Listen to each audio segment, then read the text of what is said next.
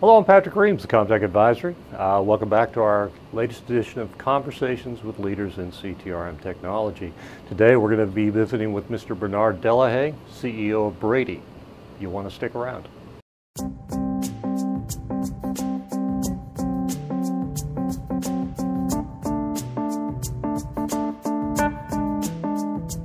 So we're joined today by uh, Mr. Bernard Delahaye, CEO of Brady, the London-based uh, provider of ETRM and CTRM solutions, the global energy and commodity markets. Bernard, thanks for joining us. Thank you, Patrick. Thank you for having me. Absolutely. I, I look forward to our conversation. Uh, and in terms of that conversation, let's let's just jump into it. Uh, Brady's a, a company that's been around for a very long time and has largely been built on acquisitions, uh, some admittedly more successful than others.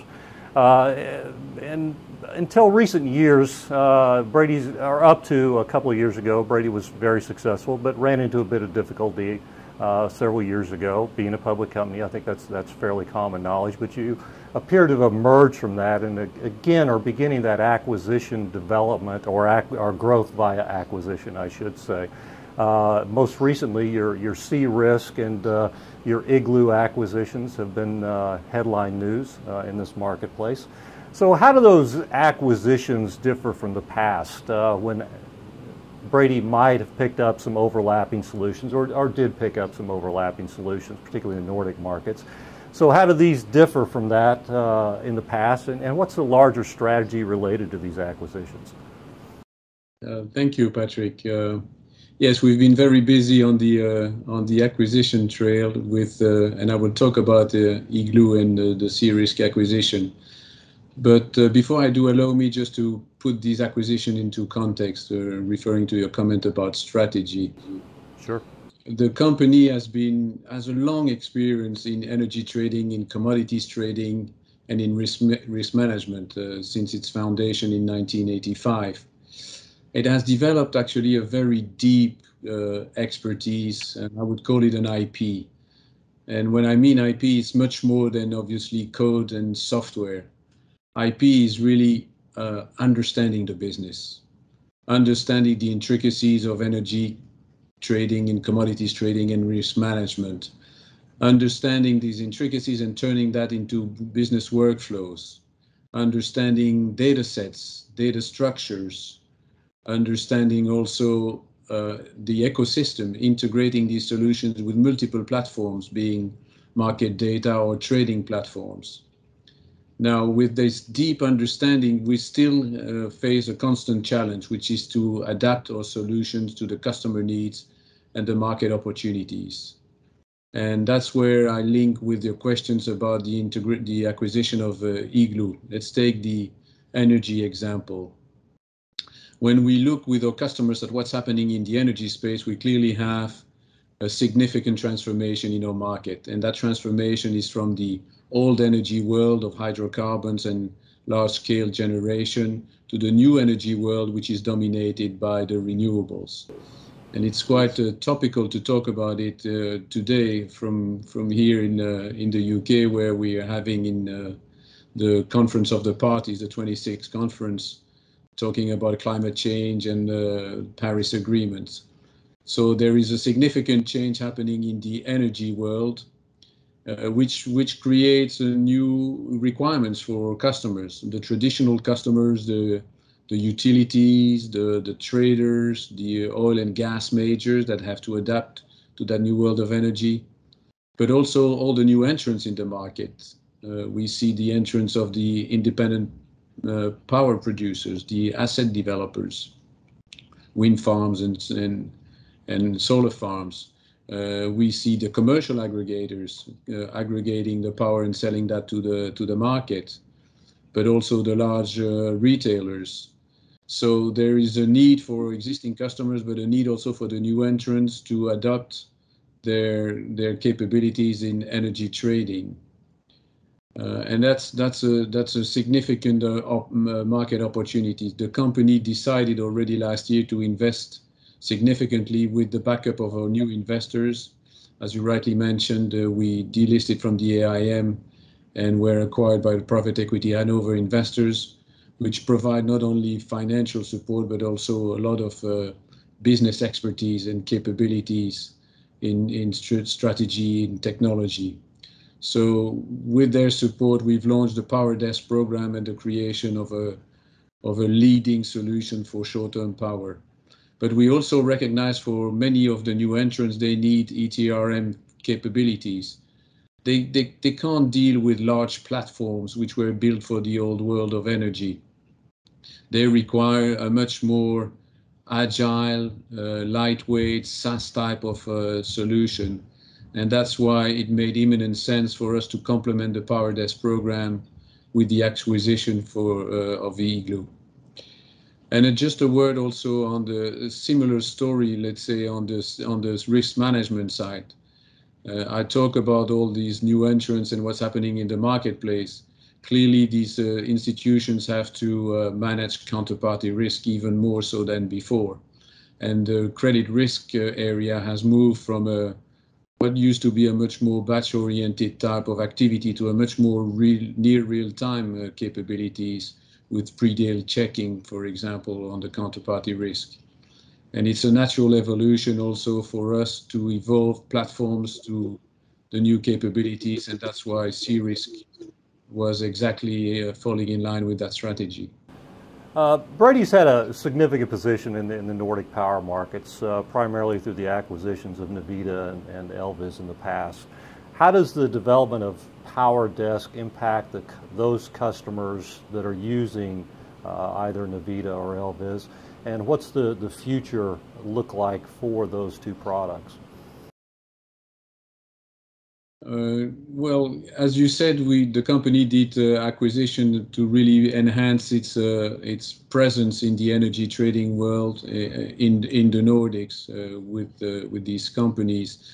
And that has provided us with some significant IP again, expertise in in connection to the TSOs, to the grid, in scheduling and balancing solutions, in energy data management, and the transfer of that data, the warehousing of that data, and the time series management. So we've been very active in enhancing these capabilities over the years with our customers, uh, in fact, this year has been very busy in, in the Nordics. We've been working with our customers to adapt the platforms to the market changes, uh, the mFRR uh, market change, the 15-minute settlement changes, and also the single price model. So we're very active in continuing in enhancing the capabilities of the platform.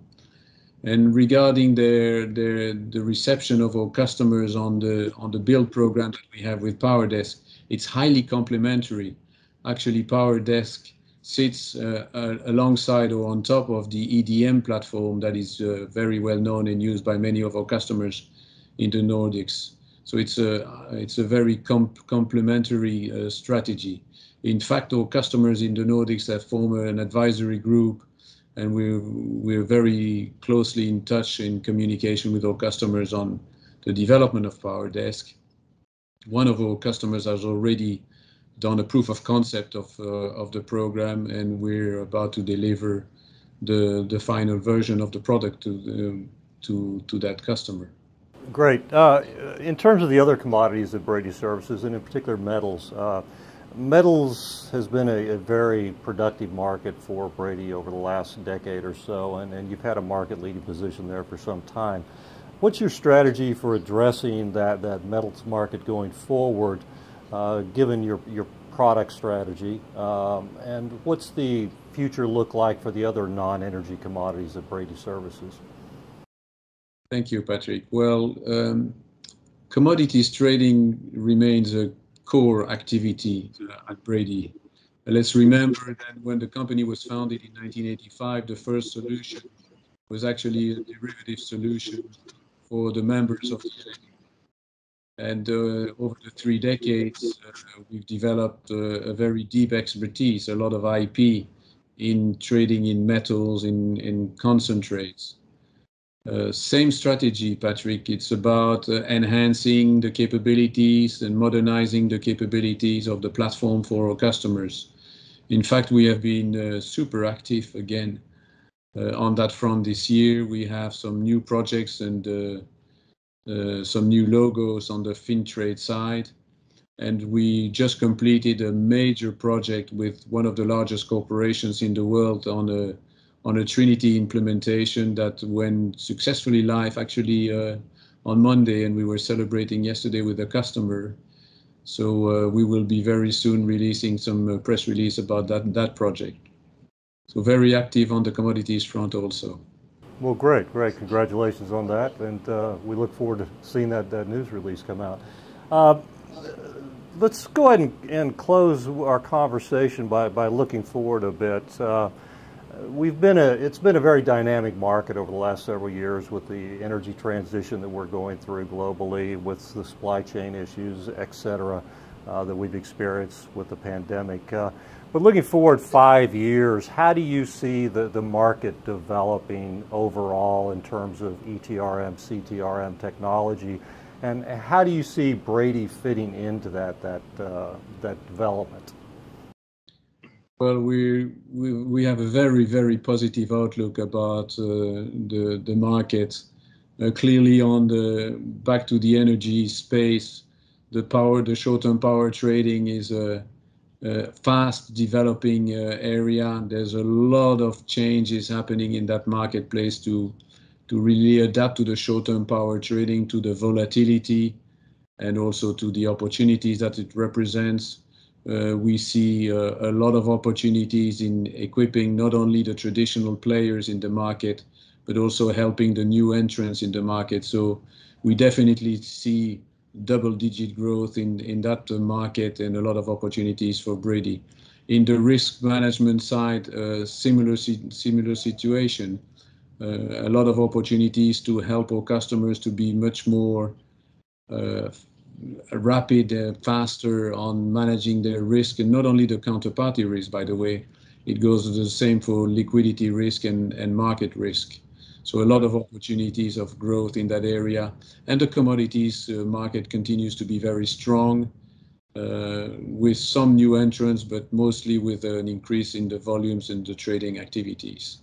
So overall, very positive on the growth for the next uh, few years. Well, great, great.